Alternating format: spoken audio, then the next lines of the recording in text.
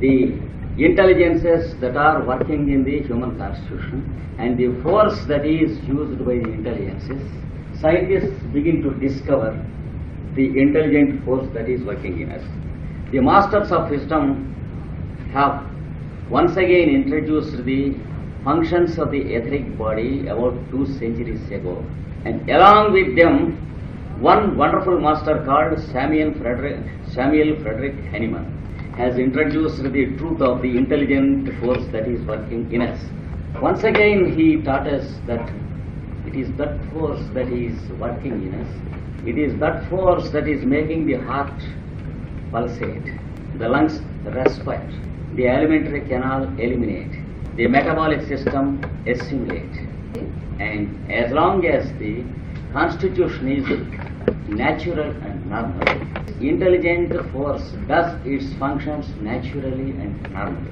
And it distributes the force equally in all the parts of the constitution. And for the facility of distributing it, we have the wires, which we call the electrical wires. You see how the wiring in your house distributes the electric current for the required purposes. How similar wires are used to distribute the power throughout the city and town with electricity, power stations and substations. We have the power stations and substations along the important parts of the country, which we call the cerebrospinal system. And the wires are sent to every village and every nook and corner in the country. And we call them the nerves. Through these nerves, this intelligent force is being sent and it is properly distributed to conduct its functions. And whenever there is something wrong, you find that there is an alarm signal. When you go to a big workshop or a laboratory or a big industry where there is involved mechanism, everything computerized. Suppose some worker has done something wrong in the office. He has connected one plug wrongly to another pin. Immediately you will find a red light and some sound alarm so that your attention is attracted. There is something wrong going on and that you are expected to attend. This intelligent force has arranged such centers everywhere in the body. So, when there is something wrong, immediately there is an alarm. Suppose while I am lecturing, I am excited and go into the astral plane, do my hands like this while explaining things. Suppose there is a pin just kept erect here on the table and I do my hand against a pin like this. What happens if pain is not arranged in the constitution? I will allow the skin go away and again I will do it. Again the skin is injured for a second time. By the end of the lecture, I may find the finger missing.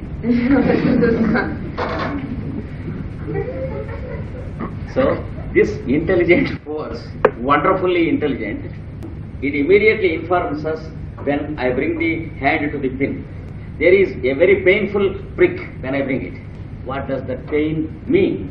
It means the intelligent force is talking to me, saying, Oh fool, there is a pin here. Like that, when there is fire going on, by mistake, if I put my hand like that, immediately there is a sensation and though I am talking something very important to you, the force understands that I am a perfect idiot and asks the nerves to pull the hand away. It is what the poor psychologist calls reflex. He calls it subconscious activity because he is blind. In fact, it knows something which we do not know and it protects us from being killed. Is it scientific to call it subconscious or supraconscious? If science were not to be against common sense and truth, the psychologist should call the reflexes supraconscious phenomena and not at all subconscious. So there are thousands and thousands of supraconscious phenomena working in us. Mm-hmm. They know about us more than what we know. Instantaneously they come to know. Suppose when I slip on the street, when I fall forward, these forces bring the hands like this. Before I understand that I am falling, what happens when if they are to consult us before they bring the hand like this? the result is a bad fracture and everything is too late because they are to consult the idiot every day.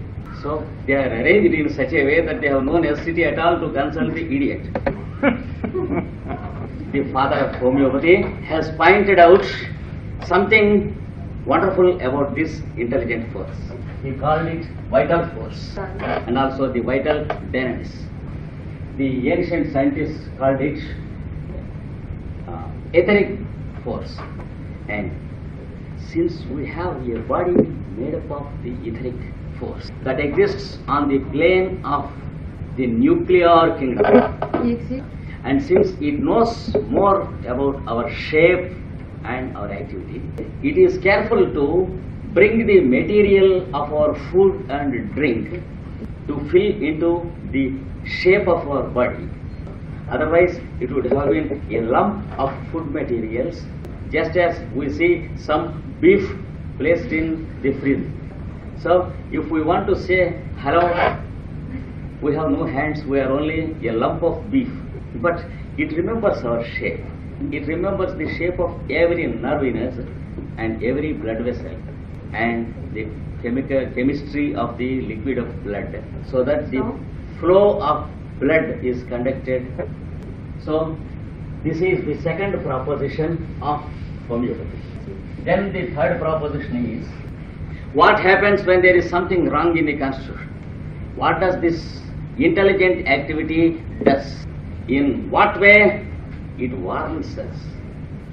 In what way it indicates immediately, instantaneously that there is something wrong? The answer is what we call pain. Many people question why God produced pain. God never produced pain. pain. God made creation. Man produced pain to himself. Unless I hit my hand against the table, there is no pain. What is the use of my hitting the hand against the table and ask, asking each of you why God produced pain? What does he mean by it? He only means that we should not hit hand at the table. For this reason, he has given us another great weapon, great light, which we call common sense. When we use common sense, we don't hit our hand at the table. But unfortunately, we do not use it so commonly as we have to use. That's why Helena Petrovna Blavatsky remarks in a humorous way that it is wrongly called common sense because it is rarely used. We can call it common sense when we use it common, eh, commonly. When we use it rarely, we should call it rare sense. That is what she remarks about common sense. But God expects us to use it because He has given us common sense free of cost. It is a free gift given to us, and He is happy when we use it. So, what is the meaning of pain? The meaning of pain is to indicate that we have done something wrong. We have hit the hand against the table. We have misbehaved with something. It may be with food, Drink. sleep, work, sex, or intelligence. Any intelligence. That then we have pain to indicate not to continue the same misbehavior. But the poor fellow, the human being, believes that pain is to punish because the human creature has the habit of punishing one another. He understands nature also in his own foolish and idiotic way because man cannot understand things more than what a man can understand. Since man believes in punishing, man believes that nature punishes and also God punishes. It is the awful psychological limitation and ignorance of the human being to believe that God is a devil to punish us. If at all there is a God, He is making us breathe. He is making our heart pulsate. unless we propose to believe that we are making our heart work. If you ask me who is making your heart work, I may answer a cardiologist he is taking care of my heart. That means I am a perfect idiot. So there is immediately pain which is the result of misbehavior. The functions are distorted or disturbed. Before that, the functions are natural. So, if you want to treat a patient homeopathically, what you have to study is not the names of diseases. Suppose a person like Krishnamacharya comes to you and you can ask, what do you suffer from? What is your trouble? The fellow answers, I am having appendicitis. Note down on the paper. And then you can ask, next, what is your trouble? He says, angina. What more? He says, tonsillitis. What more? He says, hemorrhoids. What more? He says, my liver is very bad. You got an information for a full page, which is as useless as anything. Not even a single line of this information is useful to you as a homeopath. Because when you ask for information, he has given you the names of diseases, which are false. If you take, if you take a radiography of the internal parts of the body, do you find the name appendicitis in the photograph? Or the liver trouble? Or tonsillitis? Is all some technical nonsense which we use. What is required by a homeopath is the distortions of natural functions. You are expected to observe the patient in a double way. One is you should allow him to speak and listen to it. Ji But at the same time, you should listen to how he speaks and how he behaves and how he talks. So, what he speaks is, is a part of the report. How he speaks is the more important part of the report. How he smiles and what points he gets irritated and when he is restless. By talking what he is angry and by narrating what type of incidents he goes into weeping and sobbing. This is the information you require. What does this indicate? Understand this as the screen of a cinema or a TV where you find the number of distortions in his behavior. And then what is your next purpose? It is not to break the TV because this is not the patient. There is the satellite there or the transmitting station of TV where you have to consult and suggest to them to produce a more sensible thing, news and cinema.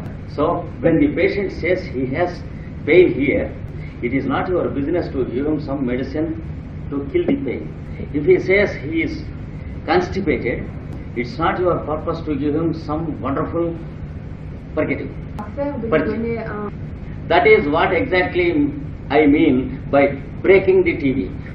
A, an insane person was asked to engage himself at the TV and he saw in the cinema two people fighting with swords. Immediately he took a chair and broke the TV.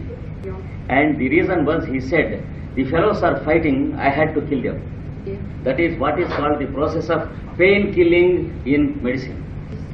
The system of producing pain is very pious. It is only to indicate that there is something wrong. What happens if you use medicine to kill the pain? Hahnemann questions us about this point. When you are in a big fortress, as scientifically built as the human constitution, and when you are appointed as the ruler of the kingdom, Suppose there are messengers to bring you message that enemies are entering into the fortress. Suppose you do not allow them to speak, you shut their mouth hmm? and kill them and throw them away. Kill the messengers. What happens? The same thing happens to the fellow who kills the pain when there is disease. You are killing the messenger and you will be killed by the enemy. So, such a process for 10 years or 12 years or 15 years, daily using medicines against headache, toothache, stomachache, etc., leads directly to the grave in the name of cancer or some mysterious disease which could not be diagnosed. The incurable state occurs Yes. at the end of 10 years or 15 years or 20 years of such wrong treatment, daily using medicines to kill our troubles. And when the incurable state comes to us, we are unscientific enough to call it an incurable disease. What comes last is not a disease, but it is one of the forms of the incurable condition, which we unscientifically call by the name of one disease. For example, cancer or gangrene or ascites, that is hydrothorax. Even though we name the diseases, they are not diseases, but they are the incurable stages after the, at the end of a continuous defaultation of medicines. Suppose there is a dead body, a person is dead, and someone asks why he does not speak. If I say that he is suffering from a disease called, is it true? I may call it a disease, but he is gone. Something has happened after which we cannot do anything back. That is what we call diseases like cancer or gangrene or hydrothorax. So, the next basic principle Hahnemann gives us is study the patient not only according to what he complains, but more importantly about how he complains and what things he remembers and what things he ignores. How he speaks today, how he was speaking 10 years ago, if you know him, how he sleeps during the present months, how he was sleeping previously, and how he responds to the emotional talks and conversations, how he was responding previously, and temperamentally how he is now, and how he was previously temperamentally. What is the difference and what is the distortion in the temperament? If you know the fellow for 10 years or 20 years, you can make an estimate of these things. Yeah. Otherwise, you can consult the wife or son or brother or father so that you may gather the information of how he was and how he is. That is the guess taking you are expected to do. And this gives you a real clue to, un- clue to understand how to help him cure himself. That is, how to use the agency of medicinal substance in its minimum possible dose. Enough to encourage his intelligent force working in him. Enough to give a prop and a fillip and give a hand to the force that is struggling against the disorder in the body. Immediately the intelligent force picks up, does what it can do on a permanent basis because it is not the medicine that is curing, but it is the same force which was protecting and making his organs function hitherto.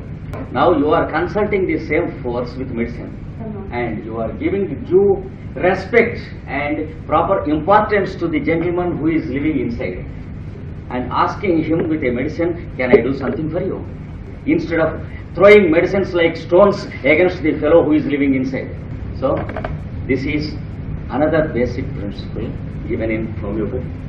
There are many basic principles that are wonderful, but the time allotted is limited. In fact, it is a subject for a continuous two months course. In India, I gather few people from the villages during the vacation seasons, teach them the basic principles of homeopathy for two months, and then I permit them to work in our clinics for one year. And after one year, once again, I will take a two months advanced course and then allow them to go into the villages and open their own centers where they stimulate the inhabitants of the villages to form their own center and develop into their own clinic. And like that, there are more than 126 clinic, big clinics working since 15 years till today. So, one more basic principle I will find out before the stipulated time is finished. I will give you the reason why the system is called homeopathy. When you are having high temperature, the body is hot. Then if you apply ice, the body becomes cold, a little bit less of temperature. If the body is cold and lacking in temperature, you apply hot water bag, cover him with rugs. The temperature is raised by one degree or two degrees. This is one method of treatment. This is what is called antipathy. When it is cold, apply heat and fight out cold.